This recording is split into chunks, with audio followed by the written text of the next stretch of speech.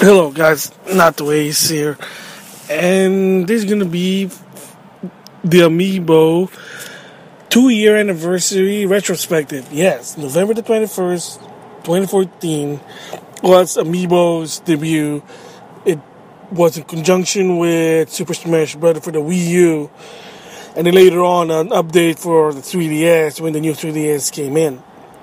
So before I even talk about my basically I guess an annual thing now because it's the second time I'm talking about this retrospective is I want to basically clarify something about the Switch vlog. In my update, excuse me, I was going to say that there was not any more new Switch news that I'm probably not going to be talking about it, but of course, surprise, surprise, even after the teaser revelation, there was more to talk about, there was more questions, more rumors and I had a backtrack in that one, so I did put a 180 there. I do apologize for that. And sadly, there will be more because there's a lot of topics that keep popping in that I want to give my thoughts about. And I already kind of did some of them there. You can see them on my secondary channel. So, yeah, so one of the update there, I did make a mistake.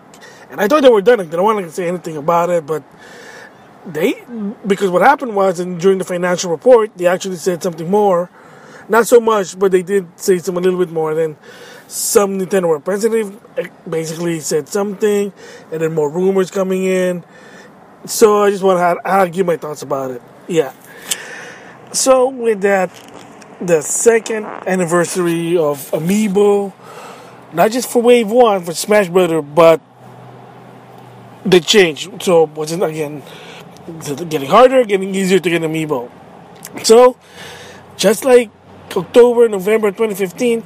It's no different in 2016.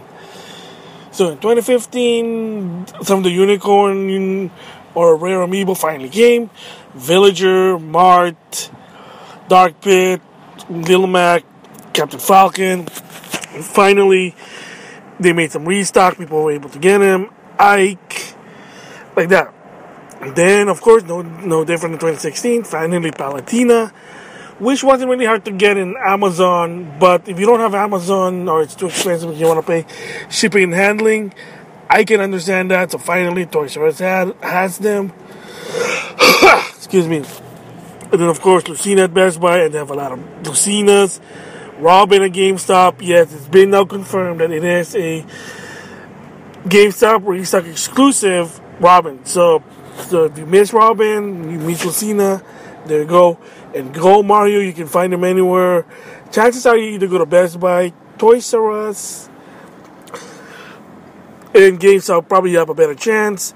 I have not heard of a restock at Target or. Uh, Walmart.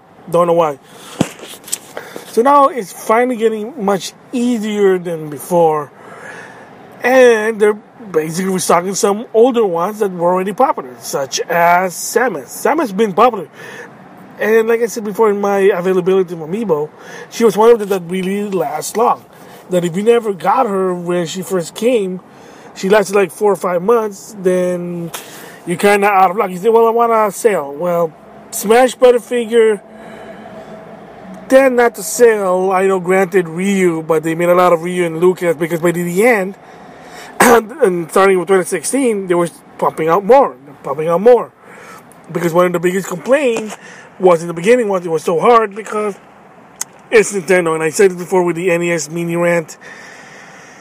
Is the Nintendo strategy was be pessimistic, be cautious, be I guess some some people even said be paranoid and see how it goes. Once they get their data, there you go. And some people say, why not do it with pre-order? Makes more sense. Uh, yeah, it's a possibility, but I guess the Nintendo size probably doesn't work. Because what if someone cancels the pre-order? That's a possibility because you know.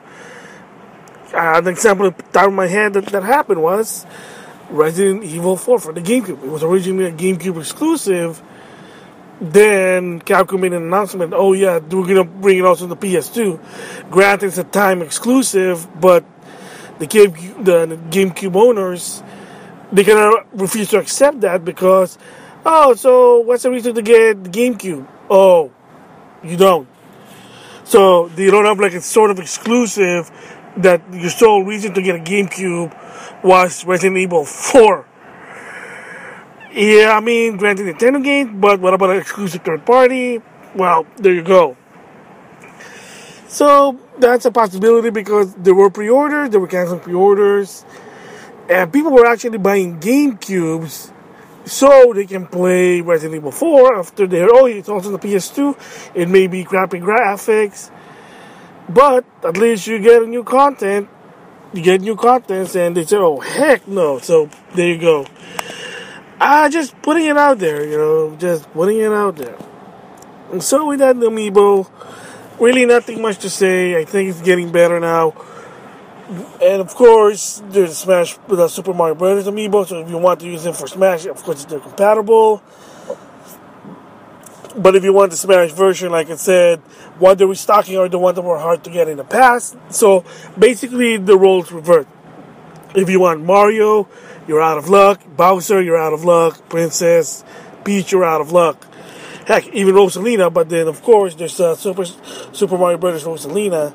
Why not just get that one? But if it's it, like I said, if it is for collector's reason, then you're kind of out of luck. That's really not going to work because, well, they're trying to sell the Mario Brothers line. You know, same goes with Kirby. You're not going to see any Kirby line until the Kirby line basically stop selling. Right now, they're still manufacturing. I think they're on sale because, well, I don't know. Maybe people get tired. So, again, it is now getting better and better. And you say, well, the only reason I think that it was hard because it was the Smash Brother line. Uh, again, granted, because that's one the most popular one. Then second came the Super Mario Brothers, and then yeah, I mean, I can tell you that, Wolf, well, granted, Wolf, Wolf Link can only be acquired if you buy the game. You can't buy it by itself. So, yeah, I mean, at one point the game did go to 25 bucks. Uh, yeah, so, yeah, I mean, now, and like I said, most popular one Smash Brothers. And of course, you wonder, oh, are they going to continue this? And the answer is, yeah, I think I talked about it before. I'll talk about it here. There have been rumors. Now, the reason why you don't see Corrin, Cloud, and Bayonetta, they're delaying them until when Super Smash Bros. for the Nintendo Switch comes out. Will it come out? Kind of makes sense, an enhanced version. You know, maybe Ice Climber, maybe they'll add some new characters, and they'll have Amiibo and maybe they'll have restock of the other ones you kind of missed. Maybe this time Mario, Luigi, Donkey Kong, Rosalina, you name it. The one that you couldn't get in 2016 because they have other version lines. Here we go. So, yeah, it wasn't really long, but again, you know, it was easy to get. Even the Pokemon one are now easy to get. Celebrate Pokemon 20, they brought back the Pokemon. Fire Emblem finally, at least it was this year in conjunction of Fire Emblem, of course, uh, Conquest, Birthright and Conquest, Fates, ah, Fire Emblem Fates. So I mean, it wasn't they didn't do a restock during the game came out, but at least they finally did a restock when it was in restock year, so or months. So yeah. So yeah, there's really nothing much to say about it. Um, not so much, not like last year because it's getting better. Some of the rare one, like I said, the biggest rare one was Gold Mario, Lucina and Robin. They're finally out, easy to get. There you go. So with that, that's it for now. I'll see you guys later. Bye.